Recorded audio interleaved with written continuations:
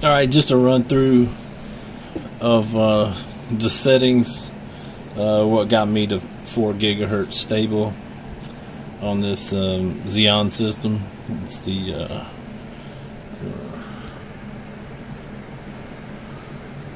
still in the test bed there.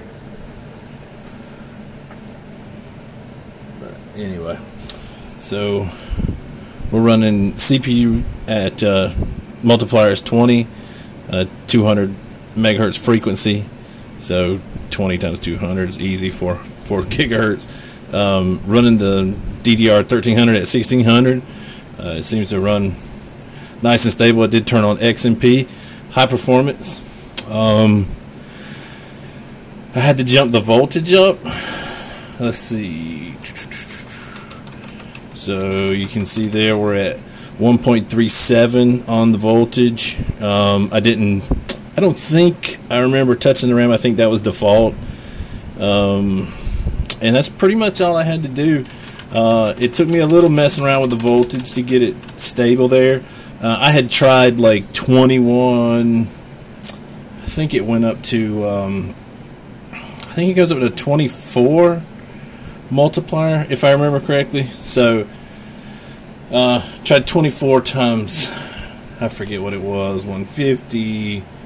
Um, just kept trying to play with different stuff and never could get a real, real good stable near that 4 gigahertz uh, until going to the 200 megahertz frequency with a 20 multiplier. Um, but at the voltage of 1.375, it runs completely stable. So um, you've you guys have seen the stuff I've thrown at it, Cinebench and the um, different 3D, um, you know,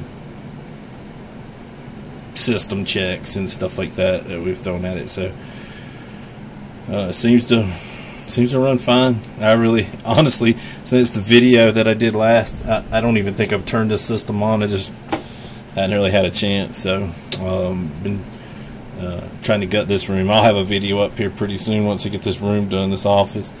Um, been doing some remodeling stuff like that. So uh, hopefully you guys will like it, but uh, it's gonna be a lot, lot more fun, and I'll start putting out more videos of some of my other systems. I just got a 3DFX Voodoo 1 card in uh, from eBay today. Uh, been holding off, finally found one says it doesn't work. Uh, bought it for 17 bucks just on the chance that I might be able to get it working. Um, but uh, most of the time, if you find a 3DFX Voodoo one, uh, those those old graphics cards now, or those, especially the 3DFX cards, they just want crazy like a hundred bucks, a couple hundred bucks for the. I think the Voodoo 5 5500 is running like 400 bucks or something like that online right now on eBay. So anyway, I've got some stuff in store. Um, I got, I have like uh, 15 systems anywhere from a, you know, 386 and, you know, Pentium, Pentium 1, Pentium MMX, uh, Pentium 2, Pentium 3, um, Pentium 4. I've got some old AMDs.